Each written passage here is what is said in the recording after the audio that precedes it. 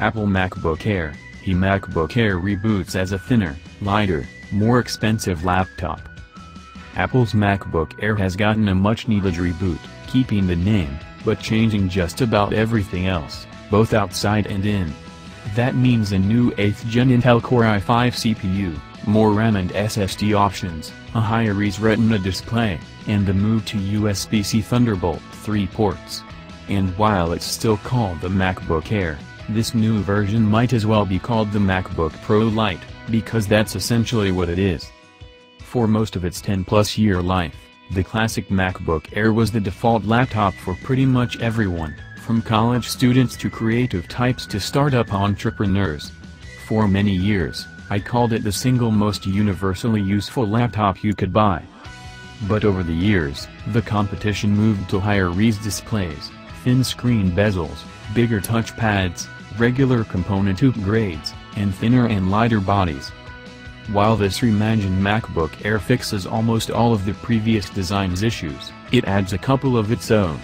It's a much better fit with the rest of the current Mac design sensibility, larger than the 12-inch MacBook, smaller than the 13-inch Pro, and much different from the classic Air, which Apple is still selling, at least for now. That means the long-standing design, with its thick screen bezels, smallish touchpad, deep keys and multiple ports is gone. If anything, the new Air looks and feels like a half step between the 12-inch MacBook and the 13-inch MacBook Pro. Its price has jumped up to join the rest of the MacBooks as well. For most of its life, the Air was $999. Not cheap, but a reasonably achievable luxury, especially for a rock-solid laptop that could last years.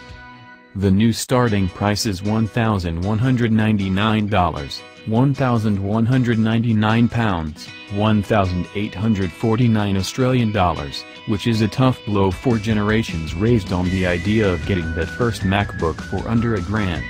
Right now, it's only $100 less than the 12-inch MacBook or 13-inch basic MacBook Pro, so there's some price versus features math to do. With each laptop excelling in a different area, and only $100 separating their base models, there won't be one correct answer for everyone. That said, this new Air is the safe middle ground between the two extremes. Picking one up, it immediately feels lighter and smaller than the current Air, which I'm intimately familiar with. At 2.7 pounds, 1.25 kilograms, and about 15 millimeters thick, it's actually fairly average when it comes to 13-inch laptops. Some similar systems get down under 10 millimeters, but at the expense of battery, features and processing power.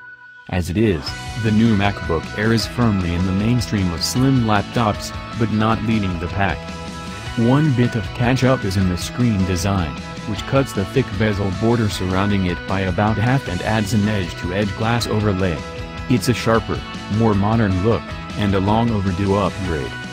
In this new Air, you get the latest version of the Butterfly keyboard, with a new membrane underneath to help keep dust from gumming up the keys. To our knowledge, the Air and the Touch Bar versions of the Pro have this version, whereas other MacBooks have a previous version. It takes a period of adjustment to get used to the subtle tactile feedback, but once you do get used to it, it's fine for even long-form typing. But yes, you may never grow to love it. The payoff is that the new Air also includes a much bigger touchpad, of the same Force Touch style as on other MacBooks. That means it doesn't have a diving board hinge on the back, and instead uses four corner sensors to register clicks, allowing the body to be thinner. Will diehards take this change hard? They might, but that old keyboard was never as great as you remember.